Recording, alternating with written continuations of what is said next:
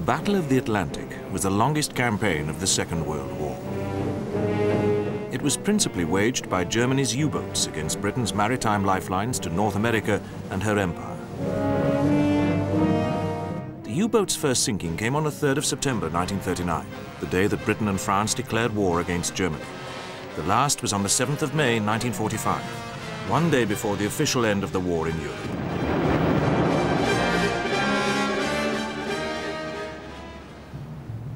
German surface warships also played their part, especially during the early years of the campaign. Indeed, the threat that they posed was at times greater than that of the U-boats. Two ships in particular were to be the cause of grave concern for the British. They were the mighty battleships Bismarck and Tirpitz. Hitler, soon after he came to power, had expressed his intention of building a powerful fleet strong enough to match the Royal Navy.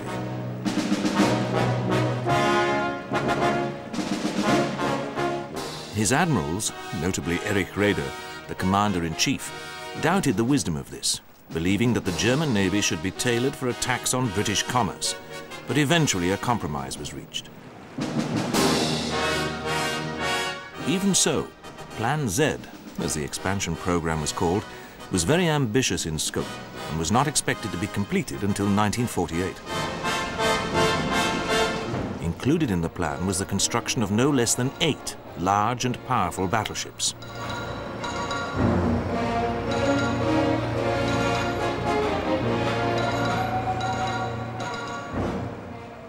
Hitler presided over the launch of the first of these, Bismarck, on the 14th of February 1939. It was a proud moment for the men who had built her and for the German Navy as a whole.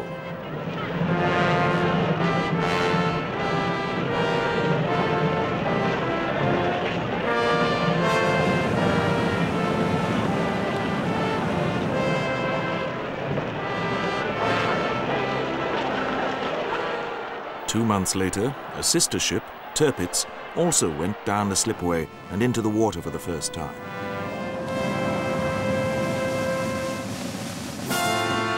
These two mighty warships were armed with no less than eight massive 380mm guns, backed up by 12 150mm and 16 105mm guns.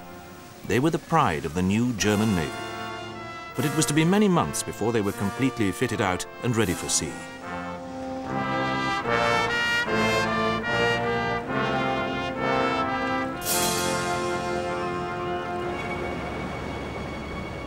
In the meantime, at the outbreak of war in September 1939, German warships were already at sea and poised to harass Allied shipping. One vessel, the pocket battleship Graf Spee, began to operate in the South Atlantic and Indian Ocean. She was soon leaving a trail of sunk vessels in her wake.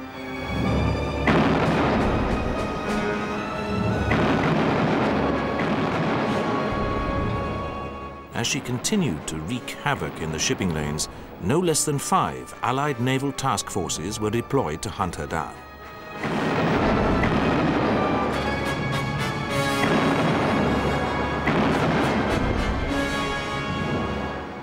Eventually, Graf Spee was brought to bay and trapped in the Uruguay port of Montevideo. Her crew then scuttled her to prevent their ship from falling into enemy hands.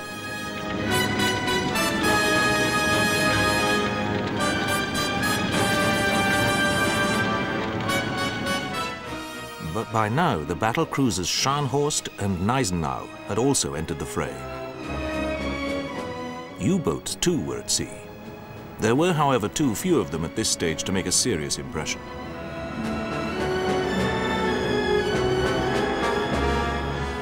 Convoying also helped to keep them at bay. But in early April 1940, Hitler suddenly invaded Denmark and Norway. This brought the lull in the war on land, which had been in place since the overrunning of Poland the previous autumn, to an end.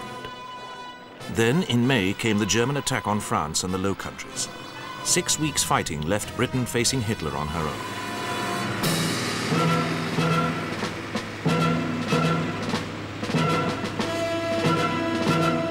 These two campaigns had resulted in a lull in the Battle of the Atlantic, but soon the tempo would quicken. This was especially since the Germans could now make use of the French Atlantic ports.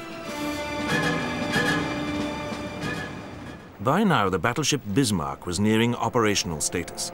She was formally commissioned on the 24th of August 1940. She then sailed into the Baltic.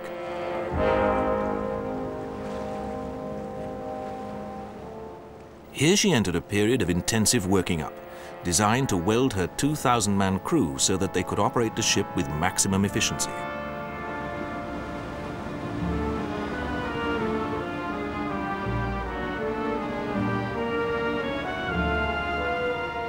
The U-boats, now able to get into the Atlantic much more quickly thanks to moving their operational bases to the French coast, began a run of increasing success against Allied convoys. Part of the reason was a desperate shortage of escort vessels available to give merchant ships adequate protection.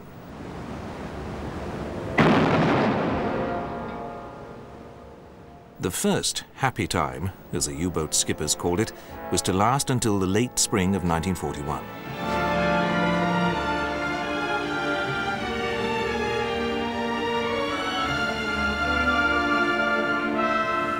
But the German surface ships also played their part. During the winter of 1940-41, they were especially active. The Scharnhorst and Gneisenau sent 115,000 tons of shipping to the bottom during February and March 1941, before slipping into the French port of Brest.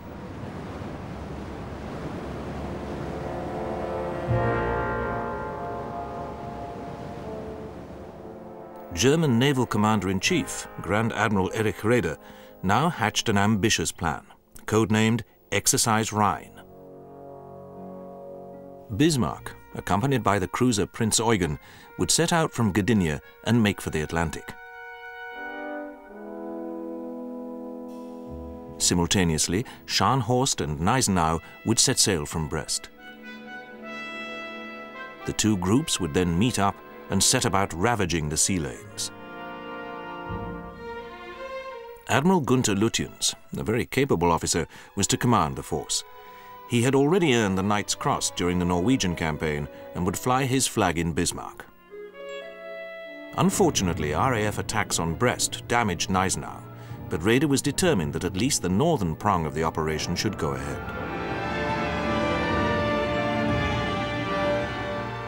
Hitler went in person to address the crews of Bismarck and Prince Eugen at Gdynia and stressed the importance of what they were about to do. He was convinced that Exercise Rhine would have a decisive effect on the Battle of the Atlantic.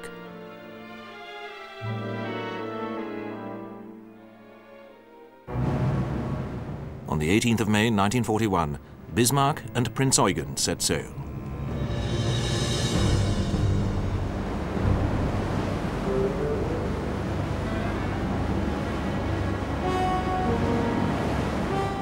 Two days later, a Swedish merchant vessel spotted the two warships and their attendant destroyers as they steamed up the Skagerrak on their way out of the Baltic. Within hours, the British Admiralty had been informed of this by the British naval attaché at Stockholm. On the 21st of May, the two German ships anchored in a fjord near the Norwegian port of Bergen, so that Prince Eugen could top up with fuel.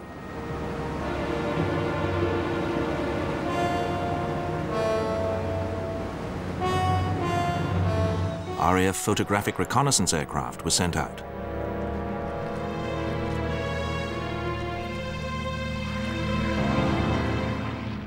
One brought back photographs of the two ships at anchor.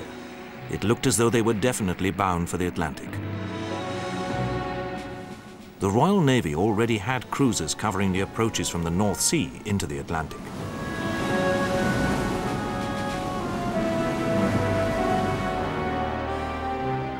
Now, part of the British Home Fleet was ordered to set sail from its main base at Scapa Flow in the Orkney Islands and make for the Denmark Strait.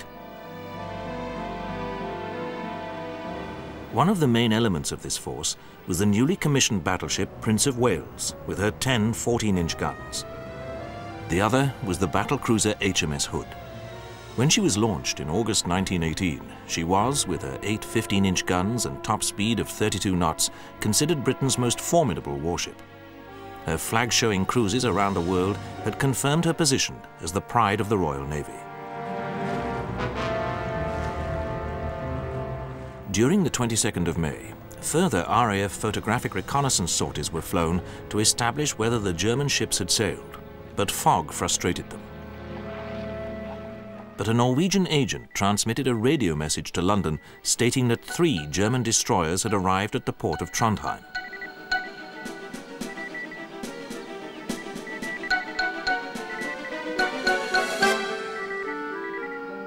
The British Admiralty deduced that these had been escorting Bismarck and Prince Eugen, but that the two ships had now sailed, since the destroyer's services would not be required in the open waters of the Atlantic. Accordingly, the Commander-in-Chief of the British Home Fleet, Admiral Sir John Tovey, now decided to set sail himself at once. He did so that evening in his flagship King George V, together with the battleship Repulse. Accompanying the battleships was the aircraft carrier Victorious, with her Swordfish torpedo aircraft. Meanwhile, Lütjens headed for the Denmark Strait, believing that the fog reported here would enable him to slip into the North Atlantic unobserved.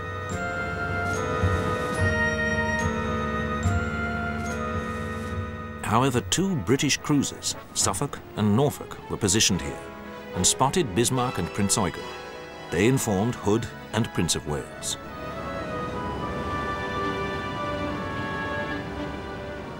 These two ships steamed through the night at best possible speed.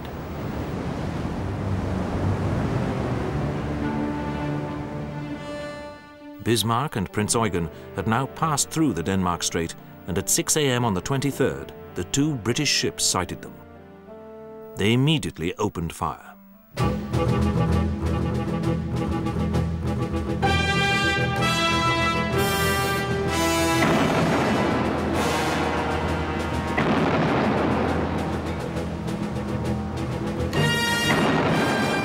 Bismarck and Prince Eugen replied, concentrating on the hood.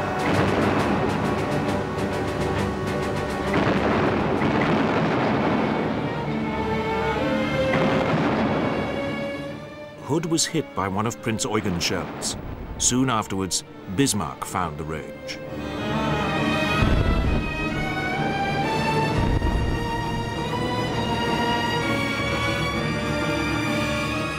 One of her salvos struck the British ship, and Hood literally exploded. But Bismarck herself had been hit, and Lütjens decided to make for a French port in order to carry out repairs.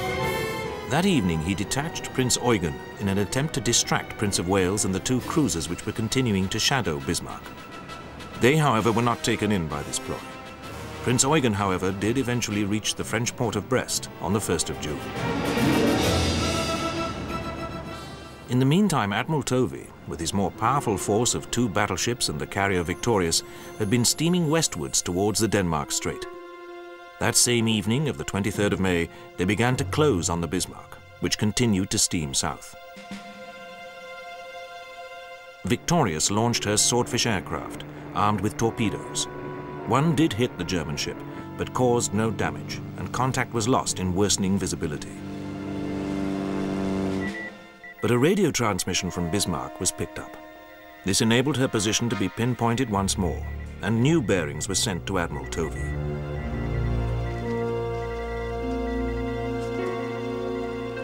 But the Admiralty also feared that Bismarck might attack a vital troop convoy en route to the Middle East from Britain.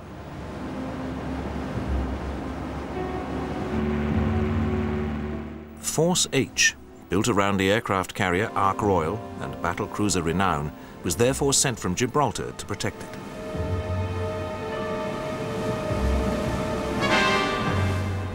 But deteriorating weather once more resulted in the Bismarck being lost to view.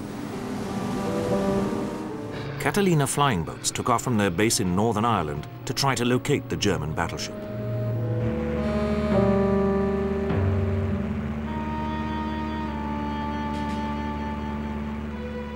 Eventually, on the 26th of May, one Catalina managed to spot the Bismarck.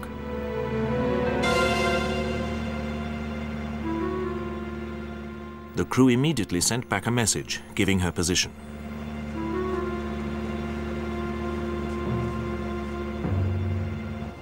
Ark Royal's Swordfish took off to attack Bismarck.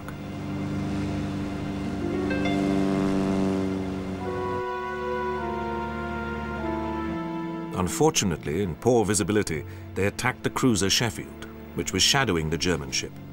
Luckily, their torpedoes did not hit.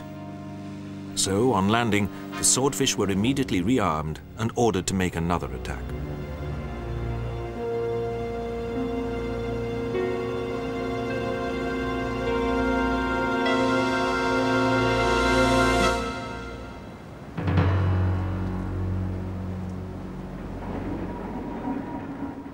They took off amid the gloom of oncoming night.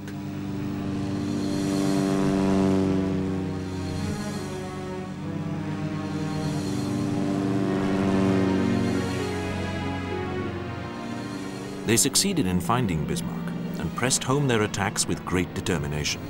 No less than three torpedoes hit the German ship, one damaging her starboard propellers and jamming her steering gear and rudders.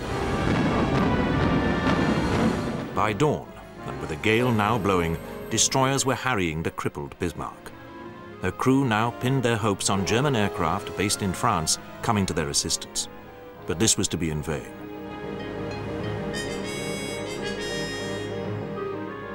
Approaching Bismarck from the northeast were the battleships Rodney and King George V, and the cruiser Norfolk. The destroyers covered the west.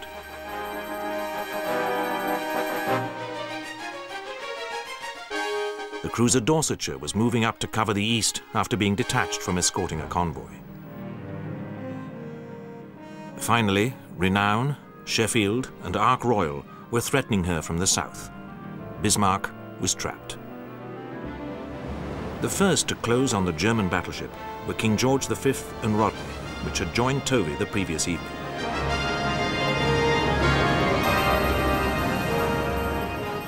Bismarck sighted them at 8.30 that morning of the 27th of May. Fifteen minutes later, the two British battleships opened fire. Their target now plainly visible.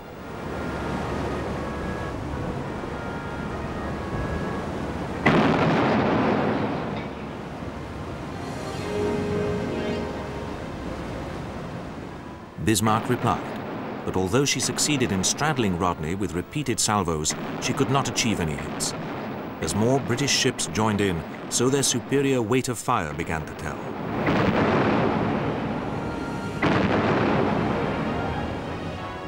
Every salvo was now landing close to the German battleship, and shells were hitting her.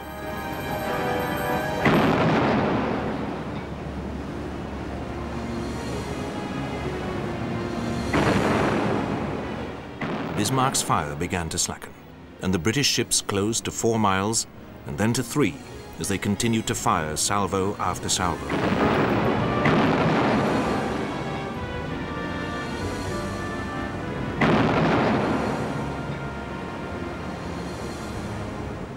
Eventually, no more fire was coming from Bismarck, but her battle flag continued to fly. She had been struck first in both her forward turrets.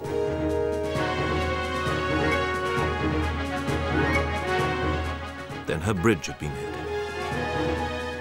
Finally, her rear turrets were knocked out. She had been reduced to a blazing wreck, and the cruiser Dorsetshire was sent in to finish her off with torpedoes.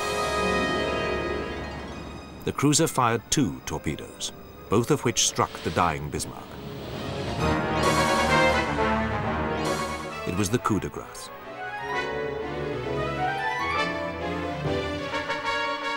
The battleship capsized.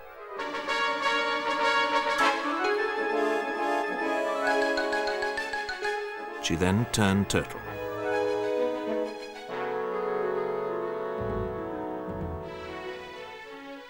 She sank stern first, taking Admiral Lütjens and most of her crew with her. Indeed, only 115 of her crew of more than 2,000 survived. These were picked up by the British and brought back to Britain to spend the rest of the war as prisoners.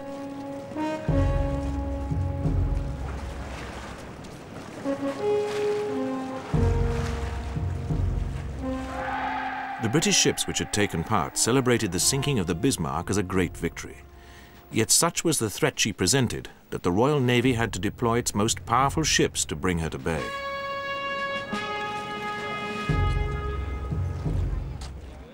Bismarck's sister ship, Tirpitz, was to present a much more prolonged and more worrying threat. She was not commissioned until February 1941, but would never roam the Atlantic. Indeed, she would never fire her guns in anger at another ship. Instead, Tirpitz was deployed to the fjords of Norway. Mission was to strike at the Allied convoys passing through the Arctic Ocean north of Norway. These were carrying vital weapons and war materials to Russia to help sustain her in her titanic struggle against Hitler. These convoys faced a continuous threat from U-boats and from German aircraft based in Norway.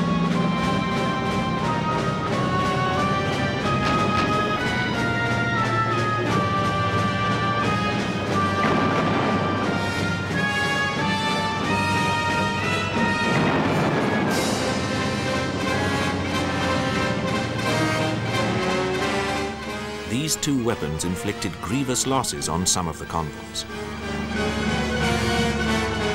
But the greatest fear of the British was that the Tirpitz would come out of her lair and pounce on a convoy.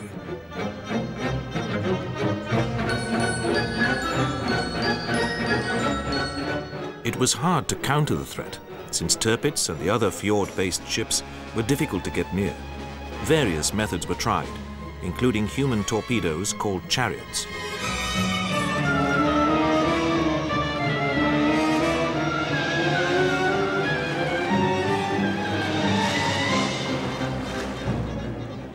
These were towed across the North Sea, but unfortunately the tows broke and the operation had to be aborted.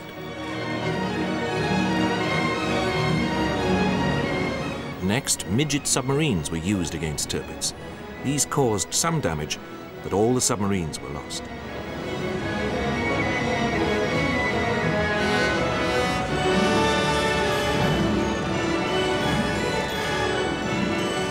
A carrier task force was then deployed.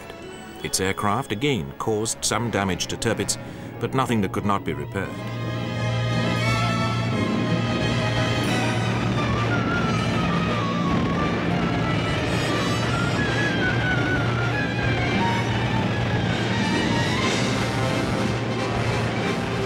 Finally, in the autumn of 1944, the Royal Air Force launched no less than three attacks against the mighty German battleship. Its Lancaster bombers were armed with massive 12,000-pound bombs.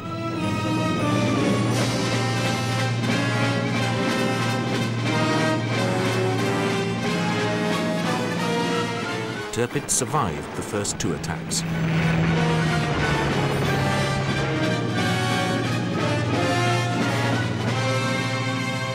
But the third, mounted on the 12th of November, proved to be one attack too many.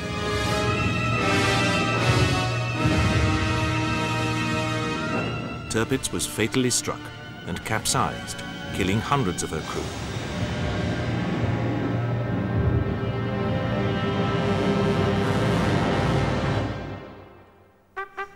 So ended the pride of the German Navy. During their brief lives, Bismarck and Tirpitz presented a threat to their enemies rivaled by few other individual ships in history.